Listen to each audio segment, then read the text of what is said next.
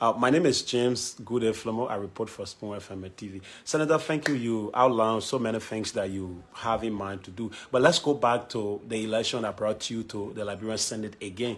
Uh, what were some of those challenges and what were some of the lessons learned during the election? And uh, th there's this there's this saying that Senator Dillon is the first Liberian who publicly brought this system of campaigning where the people themselves donated their money to you uh, to say, we want you to go to the Senate.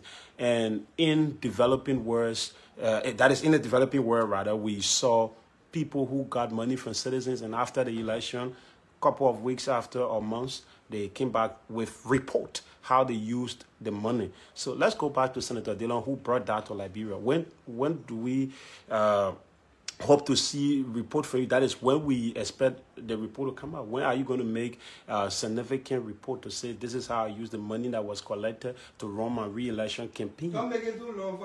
Uh, okay, yeah, that is it. When you going to come out with your when you're going to come out with your report how you use the people money that was collected and donated to you? okay, let's go. In in 90 days, your first 90 days, what are you going to uh, prioritize? Thank you. We will report to our people. Um, there is no other way around it.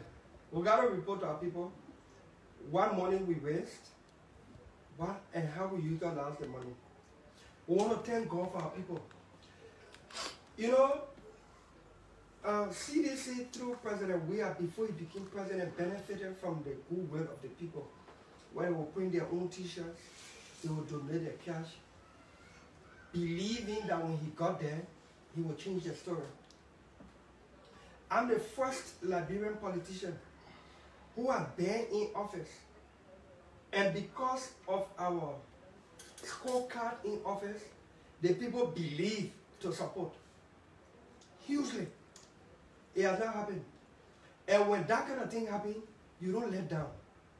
Transparency, accountability is a hallmark of my DNA. It's the standard we set for public office. And so we got to lead by example. And that is why on the general thank you occasion that we are planning, we'll go back from community to community. It's going to take us a bit of time to do so. But we'll do a general thank you. We are planning that very soon. We did not do so within the course of this week because we thought it would have been insensitive to do thank you and be joyous when there's issues in my Gibi, uh, in my Gbarpolu County where the female independent candidate was harassed, violated, and and and and was meted as of violence. We thought it would have been insensitive to do so. Also, we thought we wanted to ride together, so we wanted to ensure that the the controversy in Nimba County with Edith Gongloe where is logically concluded and we understand that Fubi Harris has issues. He's asking for recount through CPP. What are those uh, electoral issues to, to clear up? And then we'll do a general thank you for our people home and abroad. And during that period, we, we, we'll do report to our people on what we receive. There are some silent donors who didn't want to be publicly known. We include the amounts without calling the names and all of that stuff.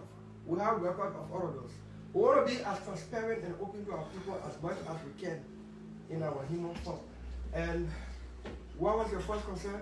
The question may be too long. 90 days. The 90 days. First 90 days, I laid out my $5,000 bill, looking at the code of conduct to make some reforms, looking at the decent, the decent wage bill, the act, and also looking at the labor law, where all these bad labor practices have been meted out against our people.